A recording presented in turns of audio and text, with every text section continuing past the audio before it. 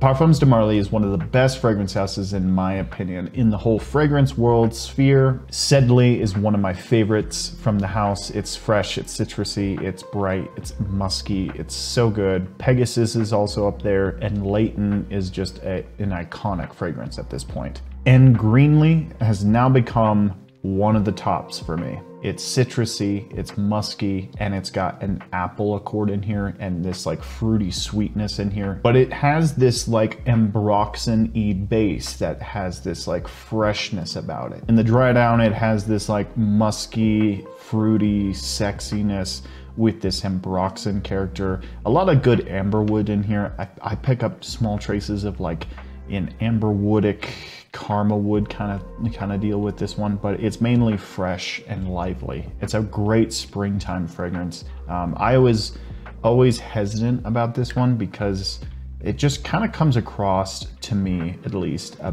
like before I tried it, as this like green herbal um, kind of fragrance. And when fragrances have like oregano and basil in there, I don't really want to smell like a pizza, okay? And uh, that's what I kind of assumed with this one. That's before I looked at the note breakdown. I didn't really look at the note breakdown until I ordered it.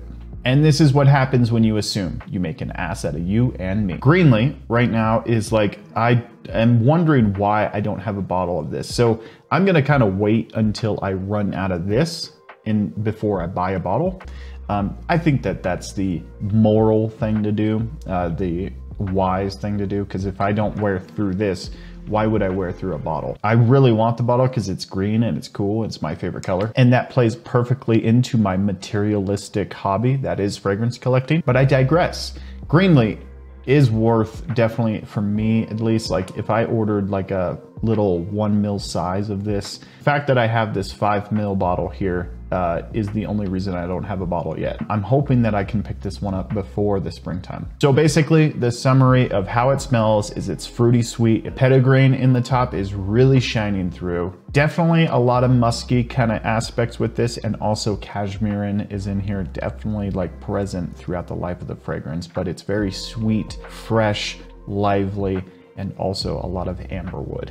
And the amberwood comes across like this ambroxan kind of style, which is great. If you like ambroxan, then it's definitely worth the pickup. It doesn't come across for those who are weary about this one. It doesn't come across as oak moss here.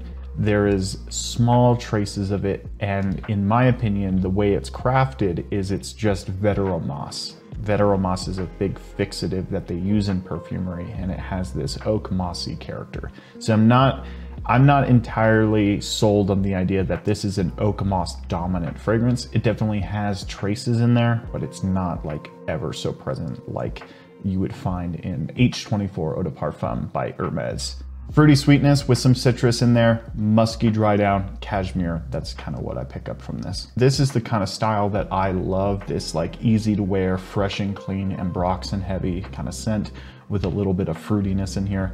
I would say this is nine out of 10 even veering into the 10 out of 10s for me. So really good stuff. The only really gripe I have with it is it doesn't really perform all that much for me, but it is definitely a work scent. So I, I can have a six hour day with it. Um, it's not like a beast mode performer, but I'm really happy with the way it performs. Um, it's just not, you know, beast mode. Have you guys tried Greenley? Let me know down in the comments down below if I've missed anything important. Please chime in in the comments down below. I would love to hear your thoughts on it. Thanks for watching the video, guys. We will see you next time.